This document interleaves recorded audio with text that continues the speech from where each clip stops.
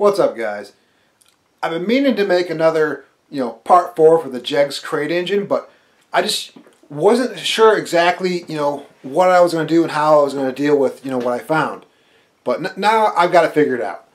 Basically what I think I'm going to do, as of now, is I think I'm going to try and salvage parts of it for various builds and deal with the rest later. I mean, I really want to get my 77 Corvette going, so I think I think I'm just going to steal those heads, do some quick port work on them because they're not as you know how I expected. I'll show you that here in a minute. So I think I'm going to do that with the heads. Um, the short block, I don't I don't want to get to it. All I know is I want to I want to build this donor engine over here and get my get the Trans Am going as well. So I mean however that long takes me to get the red Corvette going, the Trans Am going, then I'll probably deal with trying to salvage that Jegs short block. Maybe I'll even sell it off and let be someone else's problem. You know, I'll let them know, of course. I mean, well, hey, check out my video. Anyways, I'm gonna try and keep this short and sweet. Here's what I got from the heads. Okay, thanks to uh, a comment online, I learned that I, I, measured the valves wrong. See, I was measuring them at the tip, but you can see a little bit of a step here. Oversized valves are oversized below the locks. That way you can still use the same retainer and locks. So you can clearly see these valves from both heads are oversized. Well, not the outer those are old ones. But anyways, let me switch hands here real quick and we'll show you.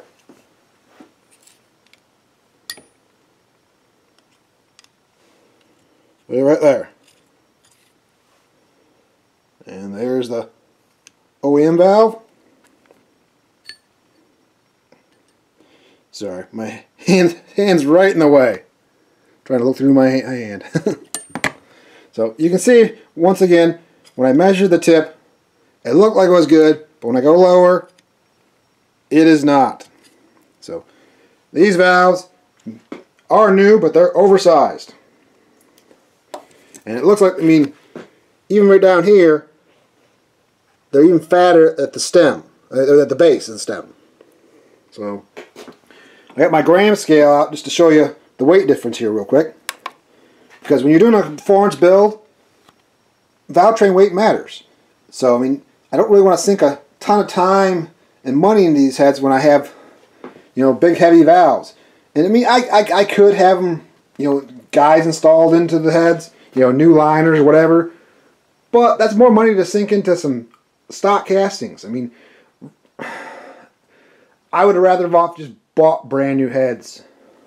Well, I should have got a new GM crate engine. But we'll get into that more maybe later. Let's get back to these valves. So, here we go. Stock exhaust valve. 95, 96 grams. Oversized exhaust valve. 108.9 grams. And you know what? I just remembered. We'll mix this up even better. Here's um, a 202, oh, we've got this cleaner one, a 202 and a 16 valve. Both undercut stems. Don't worry, I'm not reusing that. okay. 97 grams. It's a bigger valve. Okay. Intake valves. Stop. 111.8. Oversized. 118.9. Undercut. A little bit of floor dirt on there. 112.3. So they're, they're heavier than the, the, lar the larger performance valves. I mean, they are undercut stem, but still, that's not much undercut compared, you know. Anyways, moving on. Now, for the heads, we have the 062 and the 906. You can clearly see that the 906 has hardened exhaust valve inserts. And on the 6.2, it does not. I mean, there's a little bit of casting line right here. Oh, I'll get a little better light right there.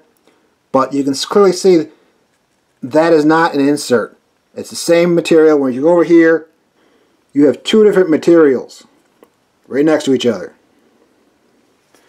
So when I talked to ATK, they told me, don't worry, both heads have hard inserts. Well, they clearly do not.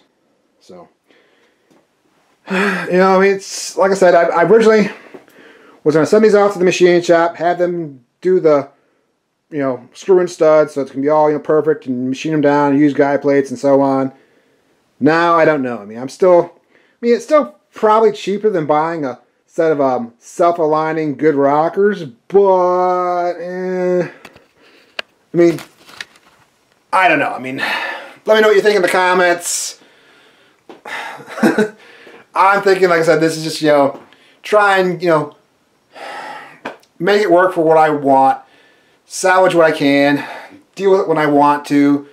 And right now, I just want to get my, my, my C3 going. I want to get my Trans Am going. I mean, I probably should have just threw the engine in the Trans Am last year, not even touch it. I would have never known. It would have been running. And uh, I, well, well, who knows how long. I'm, I'm still, I'm still, I'm kind of scared of all the horror stories I read about the low end. People talking about missing rings and, you know, other, you know, way too loose bearing clearance and stuff. And I, I, that's why I'm kind of holding off on tearing down the, the short block. I want to buy some more tools when I do it, I think, and measure and check a few more things out better because I just don't want to, you know, don't want to just, you know, send it. I mean, if I send it, I mean, I'm, I'm, I'm to send this thing, but I don't know. Anyways, um, oh, um, before I forget too, that um, crate, the one, the one bonus is it was supposed to be a two bolt and it's a four bolt. So I, that's still that's you know the scale of good to bad. That's yeah, we're still I think a little more heavier on the bad side. But anyways at this point, my recommendation is spend a little bit more and get a brand new GM. I mean, unless you need, you know, just just as cheap as cheap as you can get and throw it in there, you don't want junkyard or used. I guess get it in a Jegs engine, but otherwise I will go with a brand new. I, I strongly recommend going with a brand new GM crate. So, I hope this helps. Thanks for watching. Keep it real. Awesome.